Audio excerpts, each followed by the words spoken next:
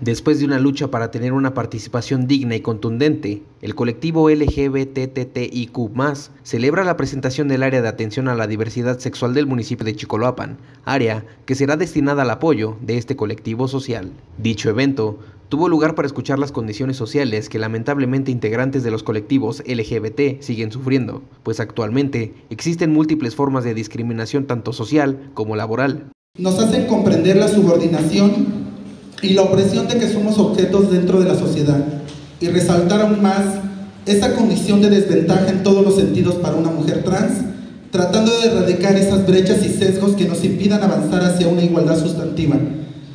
A esta ceremonia asistieron los representantes de estas comunidades de múltiples municipios como Valle de Chalco, Ecatepec, Chimalhuacán, Los Reyes La Paz, entre otros, quienes extendieron su mano para trabajar de manera colectiva por un Estado de México libre de expresión.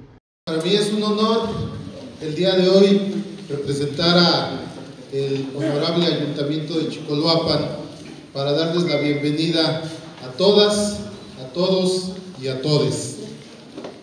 Gracias por visitarnos, gracias por estar aquí en nuestro municipio de Chicoloapan.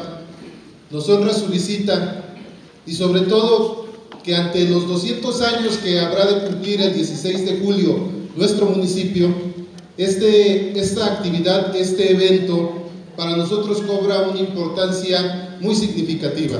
El área de diversidad sexual de Chicoloapan servirá para escuchar a todo aquel integrante de la comunidad LGBT que necesite asesoría jurídica, que quiera amparo por cuestiones de acoso y discriminación, salud integral y desarrollo. Esta parte, esta etapa de 200 años, con los brazos abiertos, con las puertas abiertas, con la mente abierta, es muy importante para nosotros.